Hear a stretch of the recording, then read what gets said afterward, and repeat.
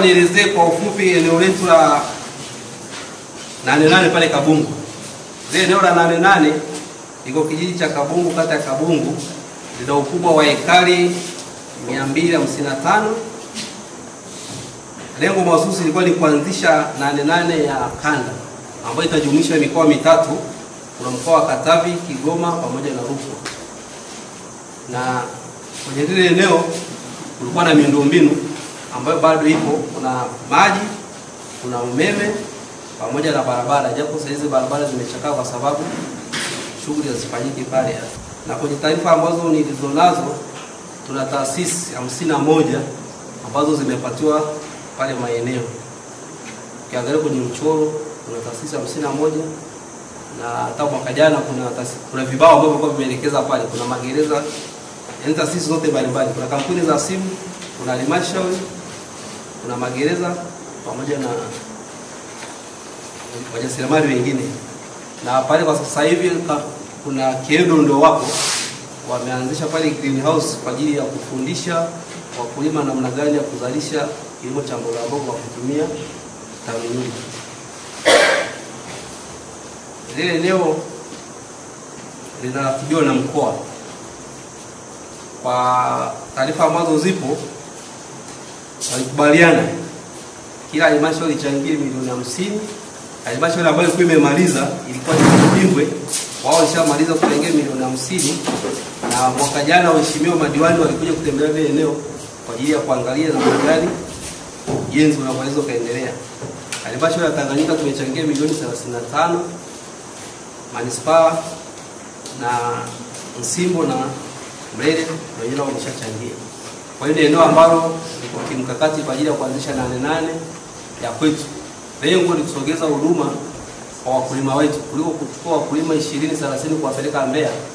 Hapa ni karibu, tunaweza kuchukua zaidi ya wakulima 100 au 200 wakaja kujifunza kanuni bora za kilimo, kanuni bora za ufugaji na kanuni bora za uzalishaji wa mazao mbalimbali ya chakula, biashara pamoja na usindikaji wa mazao. Hapa inabidi tuazimie kwamba lini sasa timu ambayo tutaipata hapa au itapatikana baadaye ikatengeneze ndani ya muda mfupi, halafu itatupitisha hata kama sio yote kwenye vikao vya management, vikao vya kamati ya usalama, vikao na vingine vi, yani timu ikae kitu kwenye management ile wapi, lakini mwisho wakati tunatoka na pepa mwelekeo wetu tutoke na pepa hiyo timu itoke na pepa ambayo ikiwasilisha kule mkoani kwamba sisi tunafikiri, nisikilizeni vizuri hapo, hata mkurugenzi nisikilize vizuri.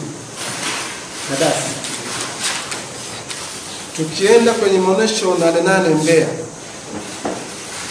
mkoa wa Mbeya kama mkoa mwenyeji huwa wana, wana kazi kubwa ya kufanya, sisi wamesha wameshayatafuna mambo yote, sio? Mnaona hivyo haya, mkoa mwenyeji unakuta wameshatengeneza ile map mkienda kwenye gano sema sisi tumepanga moja, kazi yenu kwa ni kuongezea.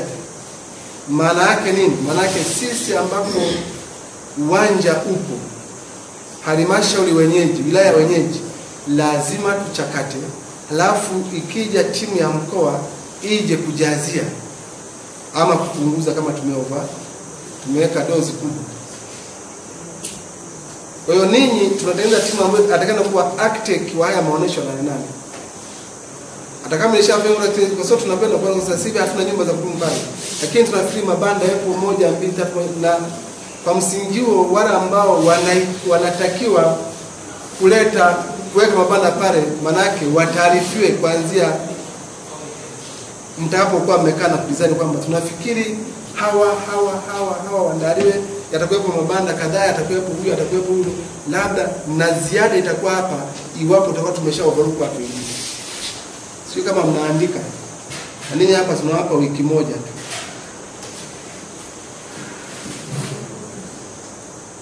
Mwe mnakuwa mmeshakaa. Kwanza hata wiki ni ndefu sana, lakini wiki moja inawatosha mtengeneze hiyo pepa nane nane. Kwa hiyo kwenye hiyo timu Ruwasa lazima awemo, Kaura lazima awemo, TANESCO lazima awemo. Alafu TANESCO unategea sana kuja pale hapo ni kuja hapa uwemo mkurugenzi, timu yako, wataalamu wako wote ambao wanatakiwa kuwemo wawemo pale. Dasi kwenye ofisi yetu kule kwenye kamati ya usalama kule kwa DSO usiku kwa TAKUKURU chukua watu na kwa gavana mwenye eneo hilo chukua, hiyo ikuwe iwe timu kubwa ambayo itakana kufanya, lakini FZDS tuwapate kwa sababu na input pale, kwa sababu ni sisi maonesho yetu hapa ni pamoja na mazingira. We cannot speak environment si na nini conservation, wakati kuna watu the nature conservancy, tunakuwa tumeshawacha nje kwenye timu ya kufanya mipango ile. Kwa hiyo tuungane, CFZ, Carbon Tanzania wanakuwa pale ili component ya mazingira na nini na kila kitu viwemo pale. Simemaliza na nane inaanza hapo. Nane nane oye. Nane nane oye. Sasa wakati huo kila taasisi ikatenge fedha ikaanze kufanya mipango ya kufanya reallocation. Msije kusingizia kwamba hii imekuja ghafla, hakuna cha ghafla. Tunakwenda mwezi wa kumi na moja wa kumi na mbili reallocation.